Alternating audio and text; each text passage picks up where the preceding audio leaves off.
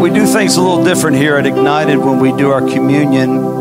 And I believe that it's the responsibility of the shepherd to break bread for you and to break bread with you. And so that's the way we're going to do it here and the way we've always done it. So if you'll just give me a minute, I want to share with you about the communion.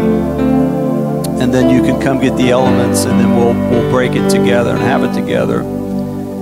But on the night that Jesus was betrayed, we know the story. It's an amazing story, and it's a very powerful story. How that he took the bread and he broke it, he blessed it, and he gave it. And as he did that, he said that this was his body. And then he took the cup, which represented the blood of the New Testament and he gave it to them and he said, As oft as you do this, do it in remembrance of me and drink it all. What an awesome opportunity we have this morning to partake of his body. It is a reflection and a remembrance of everything he did for us on the cross of Calvary. And I think that many times we miss the season of Christmas and we just say, well, it was his birth. It's greater than that. His birth gave us access to his death and to his life. And so that's why we celebrate communion at this time, because we're so grateful that he is the Alpha and he is the Omega, the beginning and the ending. And guess what? He's everything in between. So he took the bread, and remember that he blessed it and he, he gave it. And I'm going to do that this morning. I'm going to break the bread. And then I'm going to ask that you would come up and take a piece of the bread. And those watching right now, I speak a blessing over you, and I pray that you feel the power of the Holy Spirit like we do in this house, and that you would partake of these elements with us, and that the blessing of Jehovah would be upon you. In Jesus' name.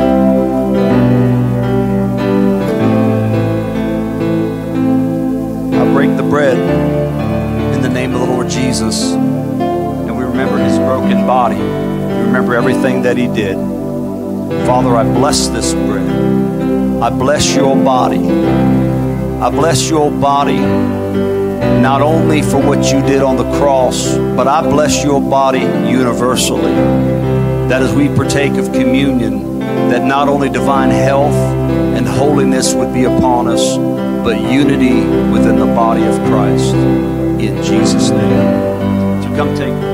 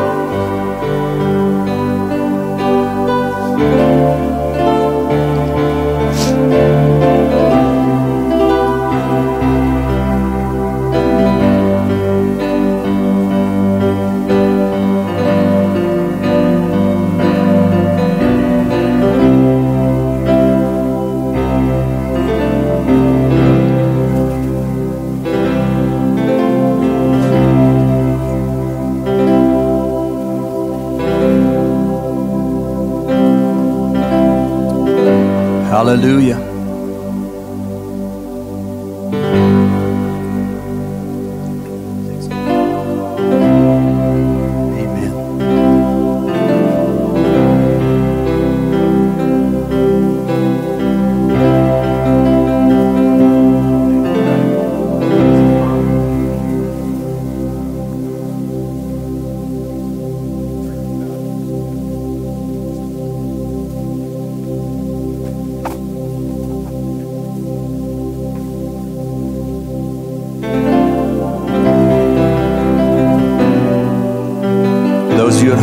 Bless you as you have partaken of the body and the blood of the Lord Jesus Christ.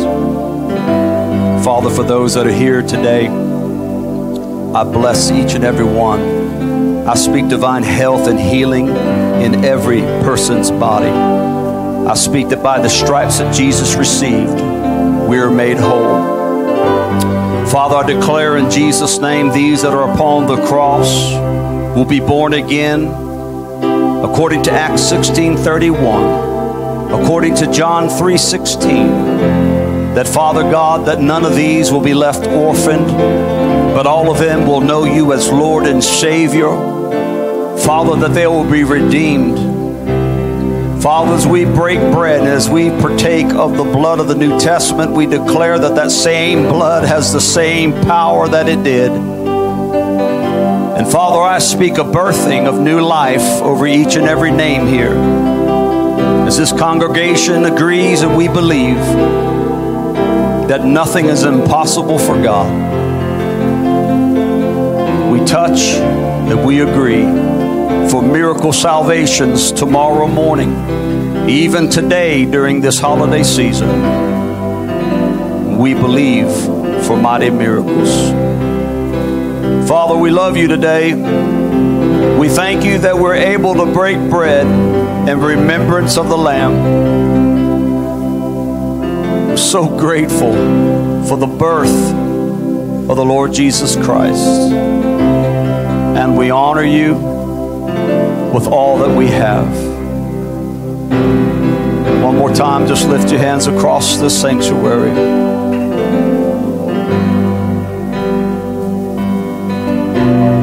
Just say thank you, Jesus.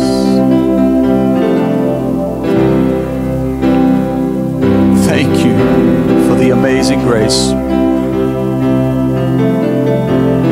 Somebody's being healed right now in your body over communion. Somebody's being touched because you broke bread in sincerity with God.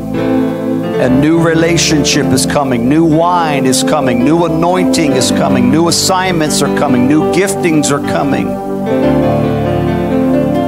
Because of your fresh covenant with God.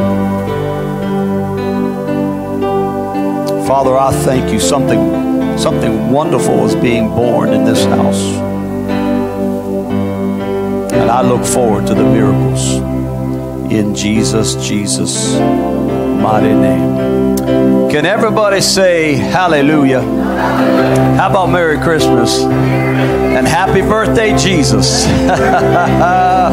Woo! Hallelujah. You may be seated. Yeah, give the Lord a clap offering.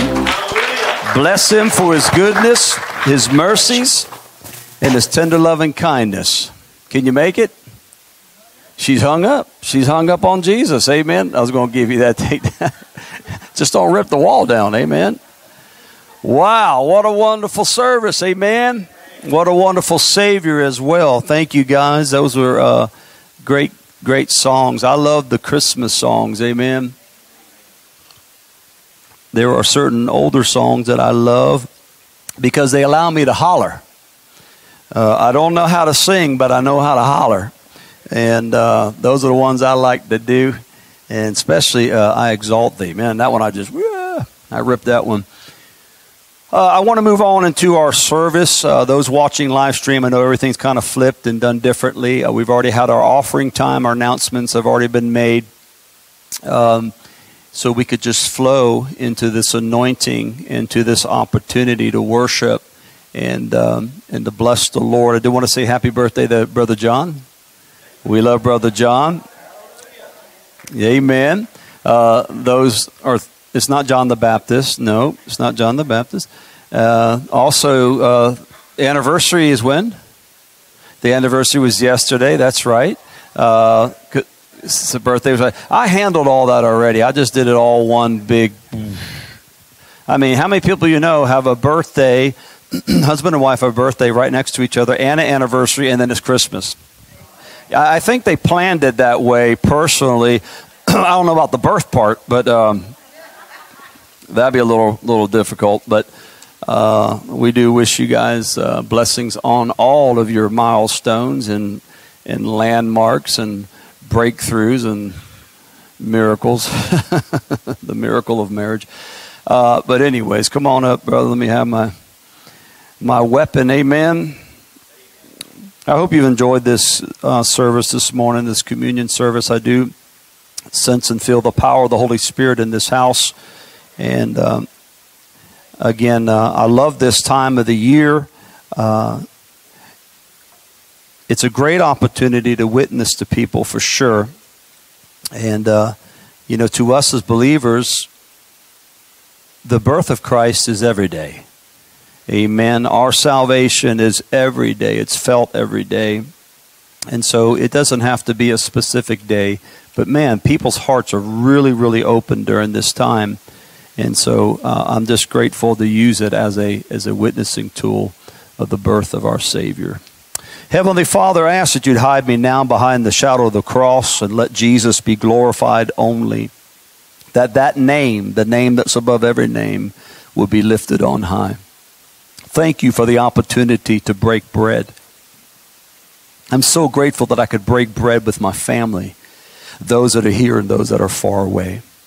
So glad that I can stand up before the nations of the world and I can I can be a witness to the greatness of my God and the birth of my Savior. Father, ask now that you would hide me behind the shadow of the cross so that Jesus would get all the praise and all the honor and all the glory. That you would take this word and you would send it to the nations of the world, and that lives will be changed by the power of truth. I thank you for it. And in Jesus' name, everybody say amen.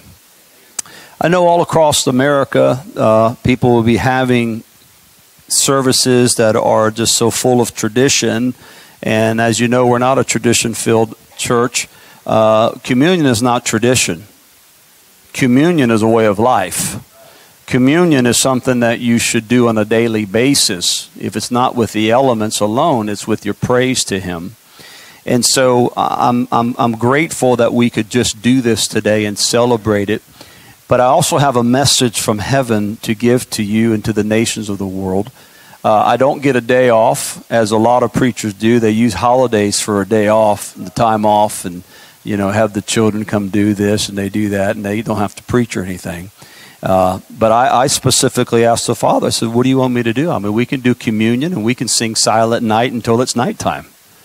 And, uh, but he said, I want you to give this word. And I, so I'm going to give this word to you and to the nations. He said, The time has come for the nations to consider the hour of their existence, to realize the days are growing shorter my time to deal with the Gentiles is coming to an end, and few realize that it's at their door. Finish your work with haste. Finish the task at hand, for soon the floodgates of grace will swing open wide, releasing man's fate. How many all know it's nothing but the grace of God that's keeping us from the tsunami that is coming? You have been given a gift, a lease on life, but many fail to see how precious this gift is. Few take advantage of this treasured gift. My gift to man has limits, and it is sought after like a man's last breath. This gift is time. Reflect and realize that this is the hour and day of salvation and grace. Realize and ponder that what you have is more precious than silver and gold. It is the gift of time. Time is running out for the foolish, for those who think they control the hourglass of reality. Don't waste time. As I was preparing and seeking Him, He spoke these words to me, which became the title of this message. It's called The Gift It has nothing to do with Christmas. It's not a play of words. It's not something that I came up with to be cute and to be eloquent about. As I seriously pondered, he said, the gift. And then he gave me the word concerning time. I believe that we're on a short string, if you will, a short leash of time, not only in this uh, nation, but in the world. And if you don't believe that, your life has but a short time. For the Bible declares that life is but a vapor, and that we only have a certain time given to us in order to accomplish the destiny of God in our lives. And that's why I try to be as passionate as I can as a pastor. And I try to push people to go to the fullness of their destiny because this is the only day you get. This is the day that the Lord hath made. I will rejoice and be glad in it. So the time that I have now is a gift from God. The time that I now possess, it is a lease from Him. And I must fulfill everything I possibly can in this beginning and ending that I have. And so the Father wants this message to go to the nations of the world in this Christmas season because we first must understand that Jesus was wrapped in humanity as a gift. Humanity and time are synonymous, they walk and work together because your body and my body is like an hourglass. With each and every day, the sand passes. With each and every day, we grow a little older. Well, some of you all do.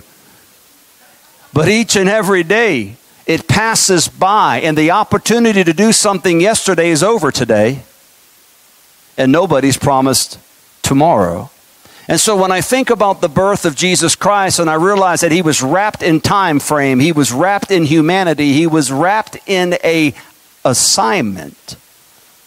I recognize and I realize today that the gift that I have been given is more precious than breath, it's more precious than silver and gold, it's more precious than anything because it's my opportunity to do something great for God.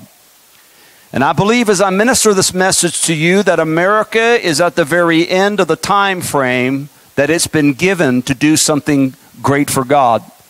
I truly believe we've actually passed that. But the realization has not caught up with us just yet. And when the entire nation realizes it, then we'll know the hour has truly come for them because it is God's desire that no man perishes, but all would come to the saving knowledge. If we really believe that God desires for no man to perish, I believe we would do more work for the kingdom than we currently do. We take less time for ourselves and we'd invest it into his work. Don't count it surprise when I tell you to go to Jeremiah chapter 22. Jeremiah chapter 22, again, I don't make this up. I know some people don't believe me. I was at a bookstore the other day and I saw there's a Jeremiah Bible out there. I was like, what? I, I might need to look into getting the Jeremiah Bible. That's a big Bible for, for not a lot of chapters, amen. I don't know what it's about, but I'll have to I'll have to look into that. Jeremiah chapter 22. I've been here before. And I guess we're going to go here again. Again, the message is called The Gift. I welcome everybody listening now on different media platforms. I love you. Merry Christmas and, and Happy Hanukkah and Happy Birthday, Jesus. I should have covered it all. Verse 1, Jeremiah chapter 22, verse 1. Thus saith the Lord God Go down to the house of the king of Judah and speak there this word.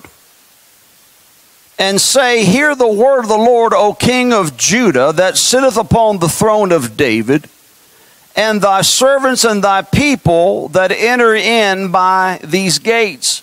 Now you know the word gates there represents the place of authority, the meeting place, the place where court was being held, if you will. It was a place where they gathered together to do commerce. So it was a place of authority. I believe that the gospel of Jesus Christ should be preached in every form and fashion and every nook and cranny, if you will, of society whether it is the White House or it's the pimp's house or a crack house or the state capitol house, I believe the gospel of Jesus Christ should be 24 7, 365, continuously preaching the blessed truth. And God spoke to Jeremiah and said, Son, I want you to go to that place, the place of authority the place where people gather together and where decisions are being made. And so Jeremiah, as you know, was very obedient. And he said, Thus saith the Lord, execute judgment and righteousness, and deliver the spoiled out of the hand of the oppressor, and do no wrong. Do no violence to the stranger, the fatherless, nor the widow. Neither shed innocent blood in this place. So God gave Jeremiah an assignment and a mission and a mandate to go to those places in the city, to go to the place of authority, to the meeting place, and tell the folks to do the right thing. That should be the mission and the assignment of every single preacher in America and around the world, and every single Christian sitting in the seat right now, and those watching and listening to me. That your assignment is to go to the places and tell folks to do the right thing. But because we've been so candy coated in our Christianity, We've become so petrified in our belief. We've become so afraid to declare and stand before people, and we want to be everybody's friend. Help me, church. We want to be everybody's buddy and we won't stand up and declare the word of the Lord and the truth of the Lord, we have come to the place that we have cowered back and we've allowed sin to take place and let it grow like a vine and a weed upon a wall. I'm not talking about being brash and harmful, but I'm talking about being truthful to our family members, being truthful to our children, being truthful to our grandchildren, and telling them what the Bible says. Because where the church is silent, the world is very loud. And the truth of the matter is, we've been so silent for long enough that the world has spoken and spun a lie into the very hearts of humanity in our nation. And now, when we speak truth, they're like a dog that hears a strange sound. And the fault is not God's, the fault is not the Bible. The fault is upon the preacher and upon you and upon me because we do not live our Christianity out in the open. We only pull it out when we want to.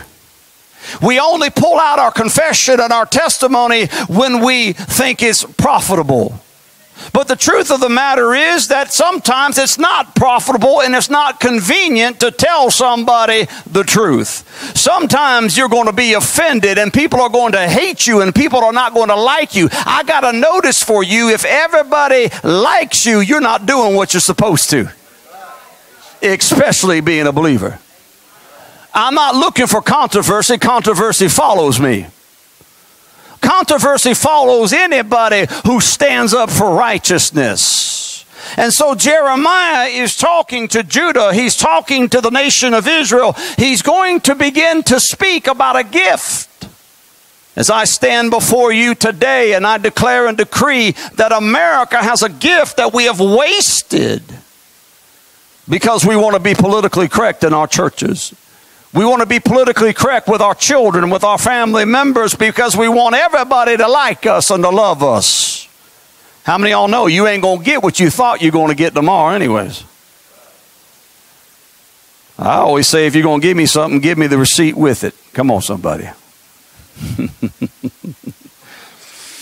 Thus saith the Lord execute judgment and righteousness. He said, You need to do something that is justice filled do the things of righteousness. It amazes me as I walk upon this earth how few people do the right thing.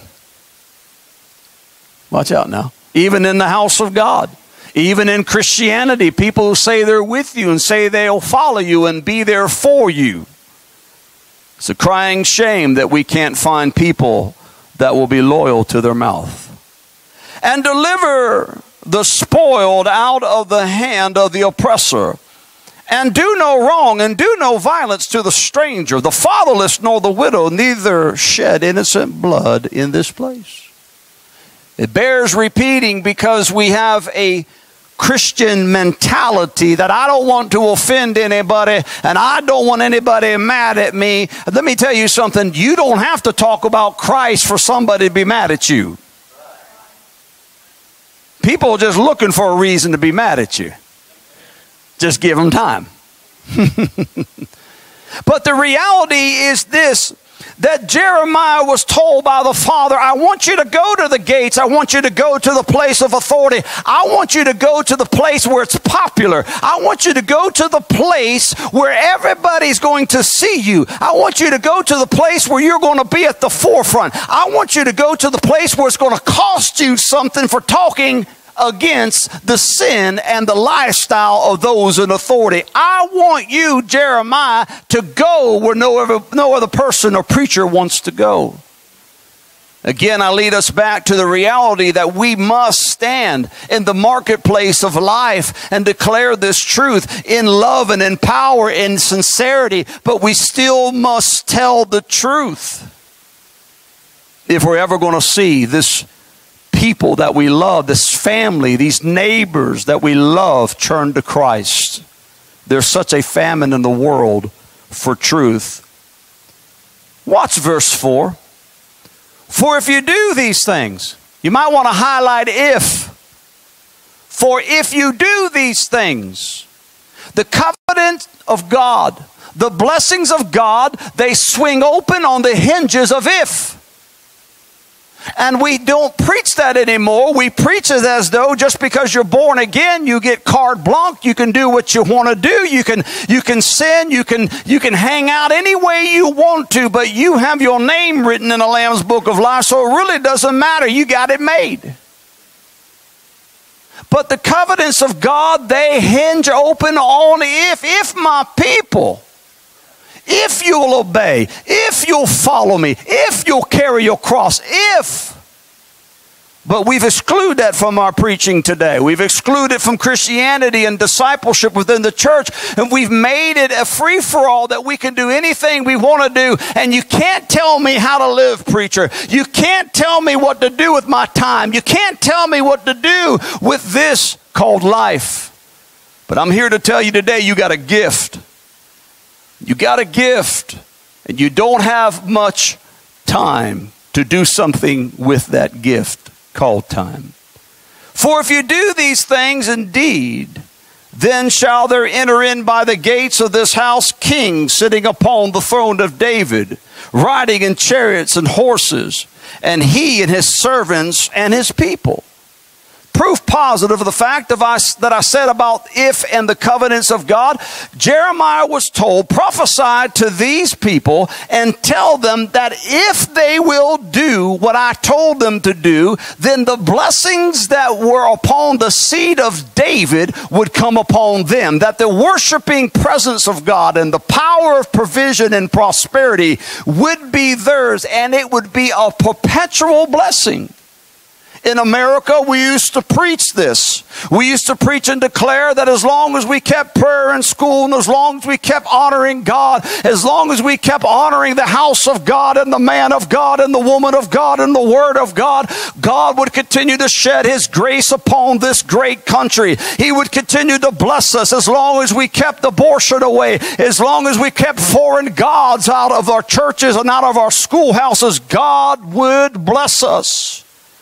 But we've come to the place that we stop preaching that because we've allowed anything and everything to come into the house of God. We've allowed every entity and foreign God that has invaded foreign countries to invade this nation, including our churches. And you see it spewing out of our silver screens of Hollywood and of our TV screens and our CD players and every form and fashion of media.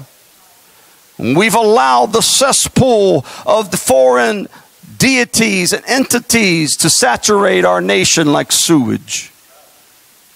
Jeremiah told them, they said, if, if, if, if you will stop and not allow this to take place, I will allow a perpetual blessing upon your country.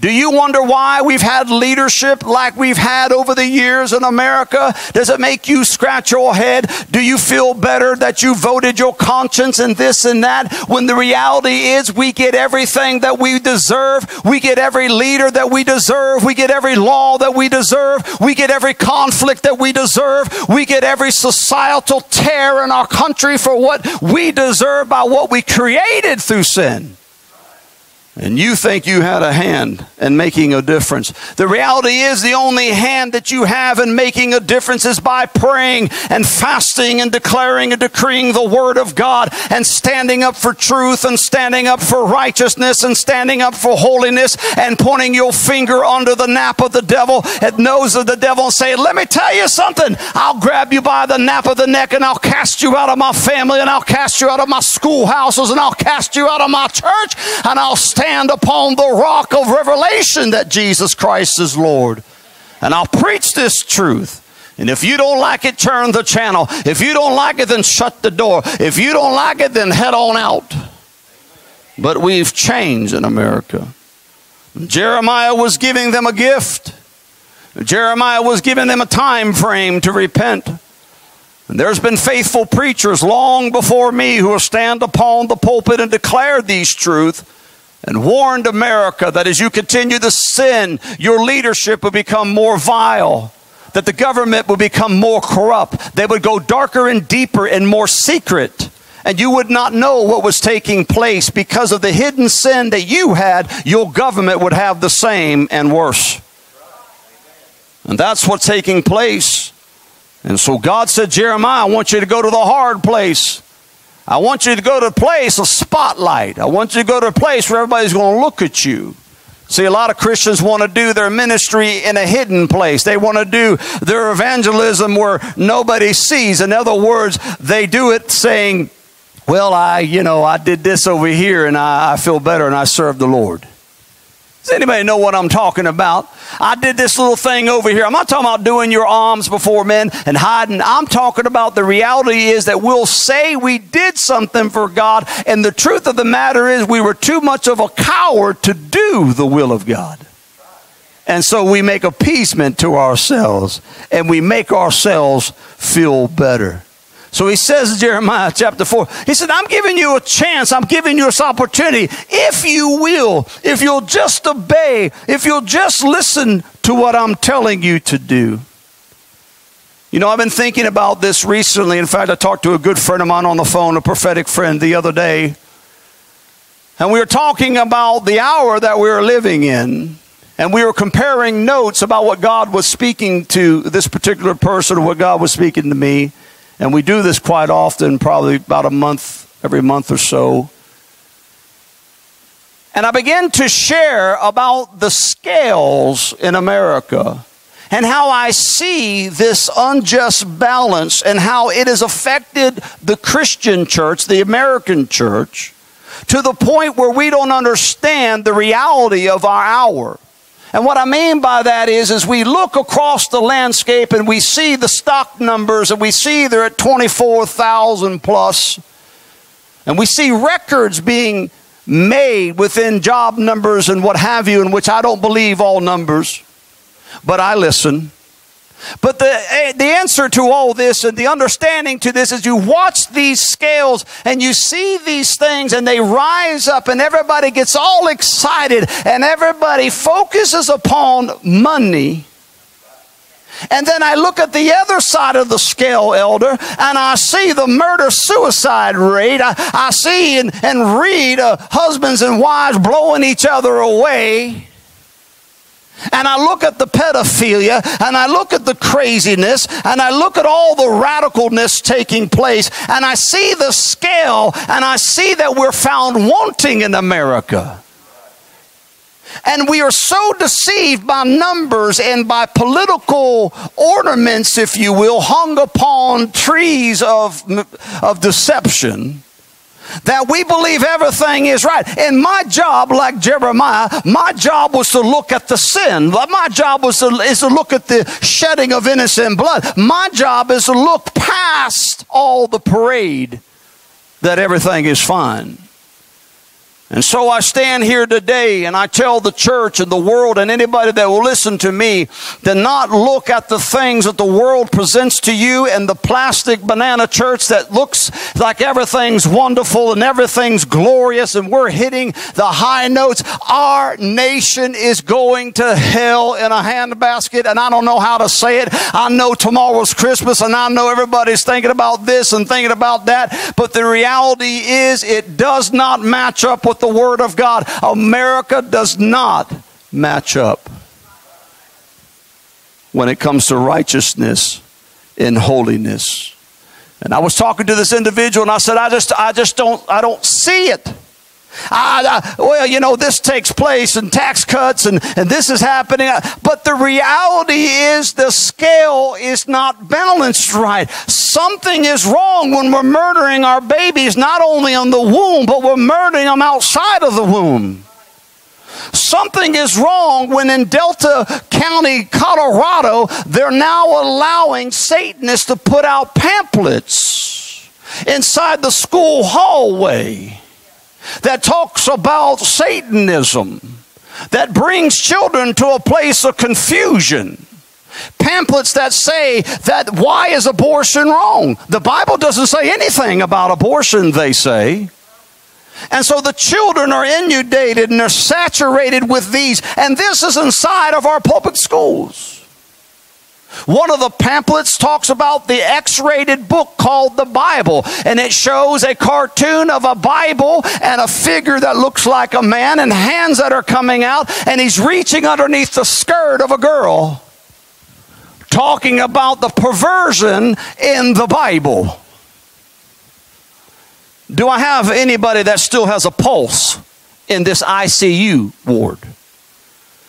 It's the reality of America today, but we're looking at numbers and we're looking at inflated numbers and we're looking at deception and we're looking at the wrong side of the scale. Even you that are sitting in church today, you're looking at the wrong side of the scale because your favorite preacher has been pimping, if you will, this mantra. And my job is to look past it I was speaking to this individual and I said, I am apolitical. I don't want to be left and I don't want to be, I don't want to be on any side. I want to be on the side of the truth. I want to be side of the kingdom. I pray we do great. I pray everything's wonderful. I pray everybody gets a raise Tuesday. The only people I know getting a raise is Goldman Sachs and Wall Street. And a whole lot of government folk. But what I'm looking for, I'm not looking for numbers. I'm looking for salvation. I'm looking for deliverance. I'm looking for revival. I'm looking for the preacher and the priest. I'm looking for the elder and the deacon to rent their hearts and not their clothes and to cry out to God and say, God, we need you today. I'm looking for true repentance. I'm not looking for money. God can give me money out of the mouth of a fish. I can dig up the garden tomorrow and find Earl. For y'all in New York and Chicago, that's oil. Is anybody still here? Taking place in our schools today. Books on why not to believe. Don't believe in God. Just there's no reason to believe in him. This is all propaganda that's being push down our children's throat. It's not everywhere, but it's somewhere, and that's enough. So I can't go with the happy crowd that says everything's fine. I can't hang with the jolly ranchers that everything's wonderful. I can't hang around with those people that just ignore and put their head in the sand and don't realize what's taking place in our country. Right now, the word going postal is really coming back. As a man kills his supervisor in Dublin, uh, Dublin, Ohio, outside of Columbus. You might have read about it. 20 something year old man kills his supervisor and then he shoots the postmaster, kills them all. Running around naked, chasing them with a gun. We're on the lunatic fringe. We're on the crazy train. We're on a highway to hell, but everything's fine because numbers are rising. Why don't we look at the rise of numbers of those dying of opium? Why don't we look at the numbers of veterans who are dying by the minute through suicide? And those within the VA system that we are left there to rot. We got problems in America. And my job on this Christmas Eve is not to hide my candle under a bushel or under a rock. My job is to lift it up and to expose and declare like Jeremiah did. He said, if you'd stop these things, you'd have the blessings and you'd have righteousness and power. We don't have righteousness and power, no matter how the church paints it. We don't. Are you with me at verse 5? I'm not mad yet. I'm, I'm happy. I saw a few gifts I'm going to get tomorrow. It's probably nothing I wanted, but I'll take it. Got a pair of socks last night, amen? Can't beat that. I'm wearing them right now. No, you can't look. Verse 5. But, hey, they're polo, man. They're awesome. But if you will not hear these words, watch this. If you will not hear these words, we're not talking about Benjamin Faircloth of Ignited Church. We're talking about the great pioneers of the faith.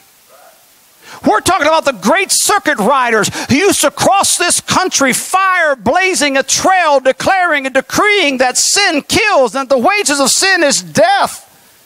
Great mighty prophets who prophesied the destruction of this country. We refuse to listen to them. In fact, if you bring their names up today, people ridicule them, castigate them. But the words are coming true today. But if you'll not hear these words, I swear by myself. This isn't Jeremiah. This one thing for me to bow up and make a threat. It's a whole other thing when God swears by Himself. I'm trying to make this clear from this congregation and this pulpit in place in Northeast Georgia that God swears by Himself and by His Word, and He's bound by these words in this covenant. If you do not follow His way and shed yourself of this sickness of sin and get yourself out of the miry clay that you have found yourself in, America and the world, judgment will come upon us in ways we've never seen before. It's it's already started, but a greater shaking is coming. We got a gift, but what are we going to do with it?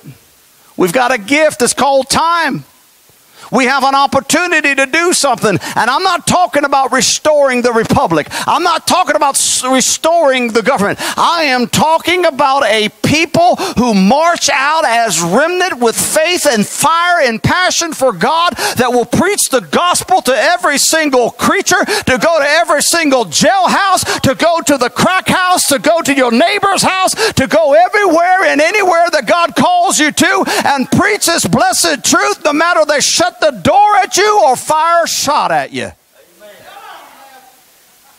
I wish I had a witness. A few weeks ago, a young man up in the north gave his life for preaching the gospel of Jesus Christ. He was preaching with his Bible in his hand, and he preached the message to somebody who had full of hate and full of the devil, and they shot that young man and the man died with his Bible in his hands. My question to you today and those listening what will you die in your hands with?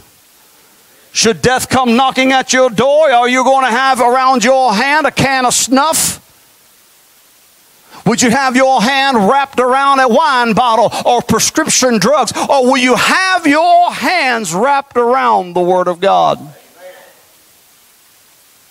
Shot. He was martyred Oh, I wanted to preach that message so hard, but God held me from doing it because it wasn't time. But I'm telling you, today is the day and now's the time that there are people dying for the gospel of Jesus Christ, and I salute them. And I say, You are a hero to me for preaching the blessed truth.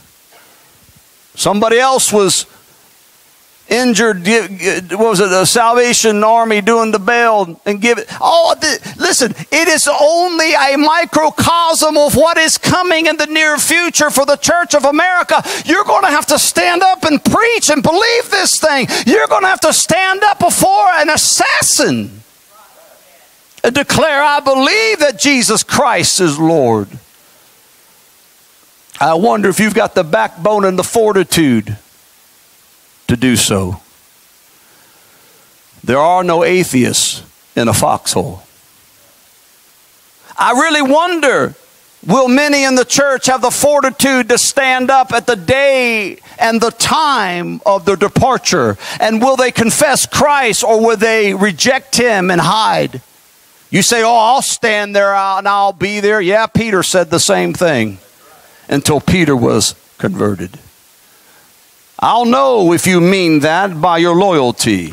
God will know that by your faithfulness. God will know that by my faithfulness and my continuing to be faithful to Him. Are you back at verse 5? This is only the introduction. So if you got Christmas shopping to do, I think you got till 2. If not, I owe you.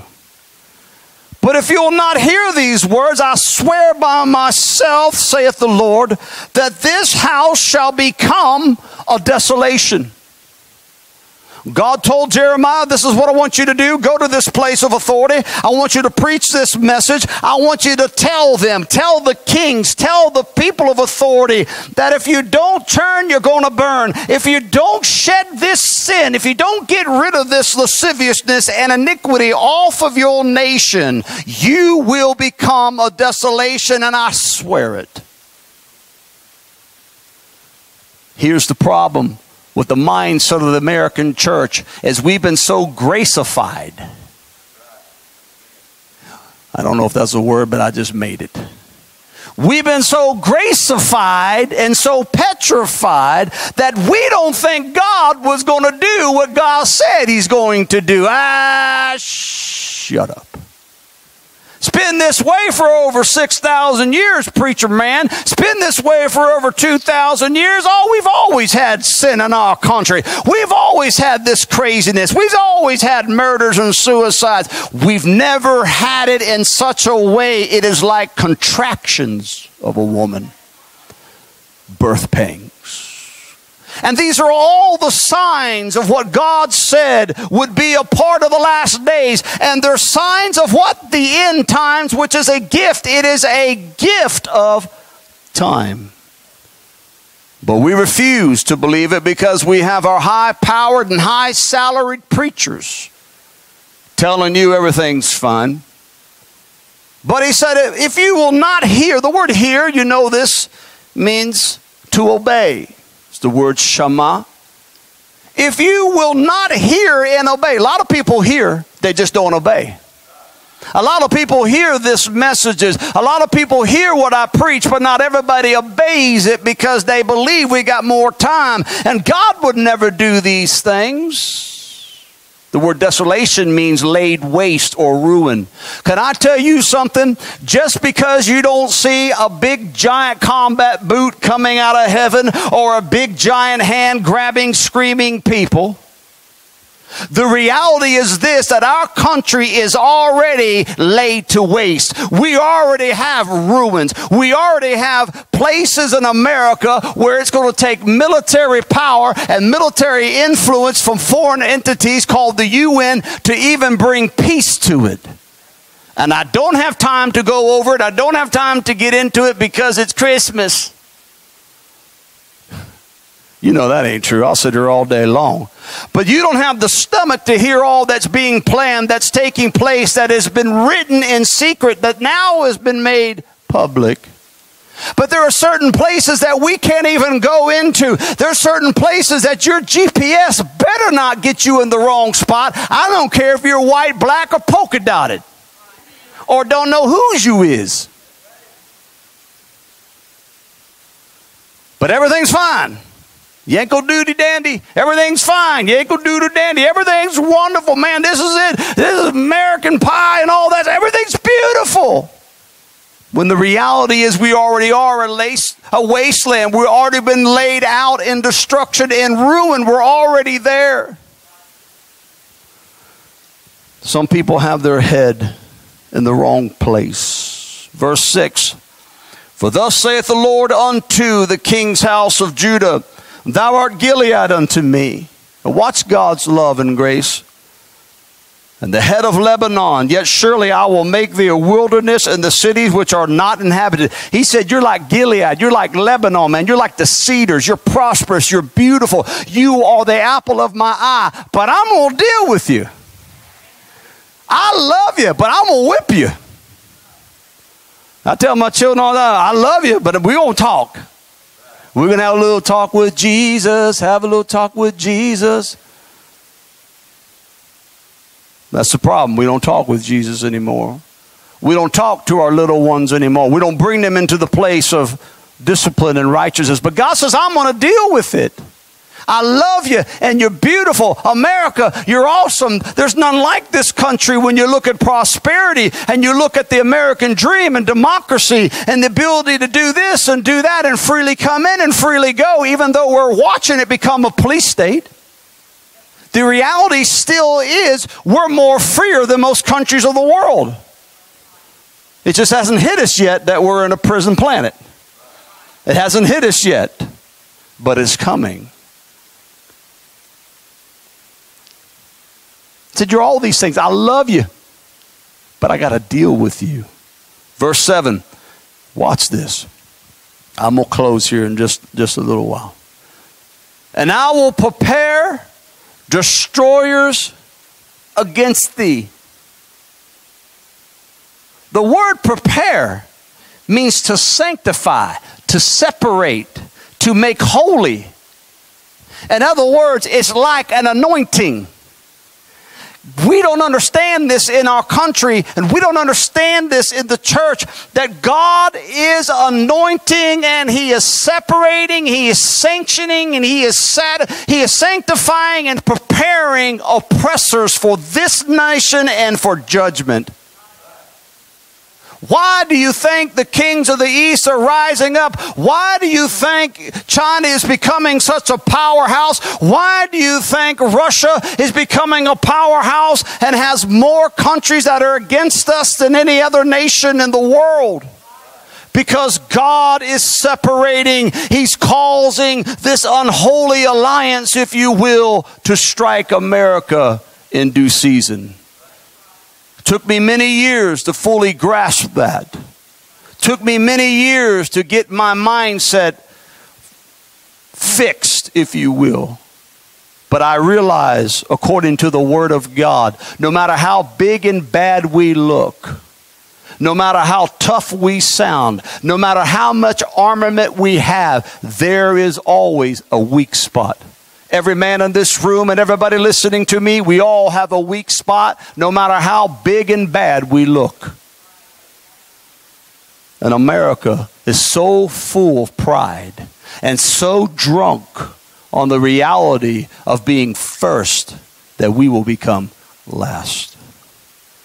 Oh, preacher, you sound like you want it. Of course I don't want it. I don't desire any of these things. Man, I love my freedom. I love what I do. I've been to enough foreign countries to come back to America and kiss the ground and say, Thank God for America. But when I look at the Word of God and He says, I swear by myself I swear by myself, I will make you a desolation. Well, I don't know about that. Go read the New Testament. Go read the hour of the last days. Go read Matthew chapter 24. Go read and see what Jesus had to say about the end times and the times of great sorrow. It's a gift. We have it now. The American church has a gift. We have time. We have time to stand up and preach like I'm preaching right now before they shut me down. There'll come a day. There'll come a day, they're already doing it on certain media platforms that you can't preach the truth. You can't declare the truth. You can't be conservative. You can't be righteous. I don't care how, I don't know how God's going to do it. I don't care what man does, but God's going to find a way to get this voice and your voice out to the world.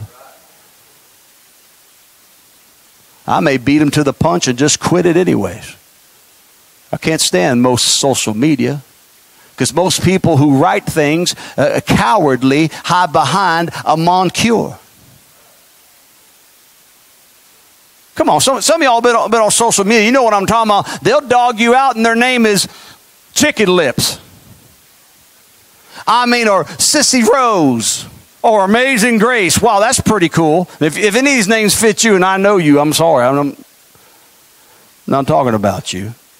But you know it's the truth. They'll castigate you and, all, and they'll hide behind this moncure. I'm like, why don't you come on down the 580 Mia East Main Street, Lavonia, Georgia, and let's talk. Well, I'm busy right now. It's amazing how cowards in the Jezebel spirit will never confront you face to face. You say anything happened lately? No, I'm just preparing. Watch this. I got to get out of here, man. And I will prepare destroyers. The word destroyers in the Hebrew there, it means hunters and for war. Those for hunting and those for war. Hunters and soldiers. I'm preparing for the demise of your country because of your sin. I'm preparing for these things. You say, "Well, I don't, I don't see anything happening across uh, the, you know, the newspaper, and I don't really understand what you're talking about." The reason we don't understand is because we don't want to understand. Our government, our politicians, and just recently, and in a very uh, amplified way, our military leaders are telling us we're headed to war. But your preacher won't. Super jazzy preacher that gets on your television screen, he's not going to tell you to prepare for war, but he is. Our generals right now are telling us to prepare for war. They just told them over in Europe, prepare for war. We're going to go to war with Russia. And then another general says, get prepared for war because we're going to war with North Korea. Everybody's saying war except the preachers. Everybody's preparing for war except the Christian. Everybody's preparing for war except the consumer, the person who's so inflated with life and drunk on tomorrow's celebrations. Oh, I'll enjoy my day tomorrow, and I will wake up early in the morning like I do every Christmas and holler as loud as I can out my back door, Happy birthday, Jesus! And I'll enjoy my day. But at the same time, I'm going to prep a little bit. Y'all ain't here with me. But this is the hour that we're living in. There's destroyers being prepared, there's hunters, there's soldiers being prepared, and our own government is telling us, but yet we aren't doing nothing about it because we believe our favorite prophet and our favorite preacher. Watch verse 8. I'm two more verses and I'm leaving you. And many nations shall pass by this city and they shall say every man to his neighbor, Wherefore hath the Lord done this unto this great city? I'm telling you, there's coming a funeral for America. There's coming a wake for America. And the nations who once supported us and the nations that once were defended by us will weep and they will howl, for they look upon this great nation, the great city, the great mystery Babylon, and they watch it in flames. You don't believe it can happen, but God says, says, I swear it will. Because we have fallen so far from truth. And verse 9, then they shall answer. What's, what's 9 about? 9 is from verse 8. Why, God? Why did this take place? There's prophets out there who are walking in the spirit of Hananiah, telling people not to listen to those that speak doom. Honey, I don't speak doom, I speak reality. If there's something different that I'm preaching that's happening out there, if things are popping up petunia and roses, let me know about it. But the reality is, we are going to hell in a handbasket. We are in this situation. And we ask why? Why are we there? Verse 9. Then they shall answer, Because they have forsaken the covenant of the Lord their God. Listen, we may not all agree on the formality of Christianity. We may not all agree on music and style. We may not agree on pageantry and design. But the reality is, we better agree upon this word right here. We better agree upon the virgin birth. We better agree upon the sinless life of a lamb called Jesus Christ, who died upon the cross of Calvary and rose the third day and has forgiven men of their sin. And there is no other way unto the Father but through him. And it is a sanctified, holy, consecrated life that gets us into his glory through the blood of Jesus. That's just a microcosm of truth. It's a microcosm of the creed we should have together.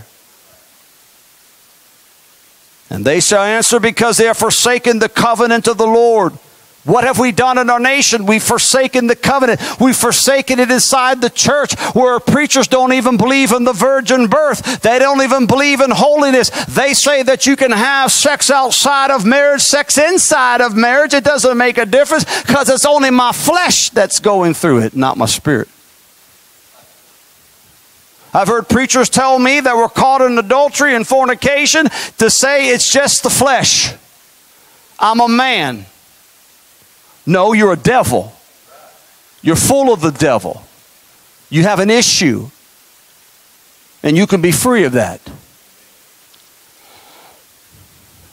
Are your fangs hanging out just yet? Watch this. The covenant of the Lord their God and worship other gods and serve them. We worship other gods in America. We worship our flesh. We worship pornography. We worship materialism. It's never enough. Verse 10 Weep you not for the dead, neither bemoan him, but weep sore for him that goeth away. For he shall return no more, neither see his native country.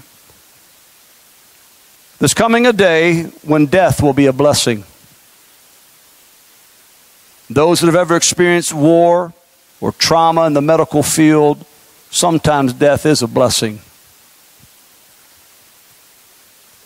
But there's coming a day when the greatest pain for this country will be people who held on to the lie of making America great again, who held on to the lie of the promise of prosperity and fun times forever when it all shuts down and falls around your ankles. When you recognize and realize that Jesus is the only way and that government can never save you and government is never God. America will never be great again. Brazil, you'll never be great again. Africa, you'll never be great again. All the countries of the world, you'll never be great again without the power of Jesus Christ in his shed blood. I pray that everybody would wake up to the reality of where we are this hour. I pray that you would do all that you can with the rest of the life that God has given you, this great gift called time, because we don't have a lot of it. I bless everybody here, those watching right now. I bless you in this Christmas season. I pray that you'll be blessed with your family, but I pray that you'll keep your head out of the sea of materialism and keep it in reality of the kingdom of God. Heavenly Father delivered your message about the gift. We've been given a gift. It's called time. It's called salvation. It's called redemption. It's called destiny. If we would just grab hold of this reality at this hour and recognize that we have a time frame that has been given to us to do something great for you because everything in life is about to change. Father, bless my people, your people, bless everybody listening today. In Jesus' name, amen and amen. I love you guys. Merry Christmas.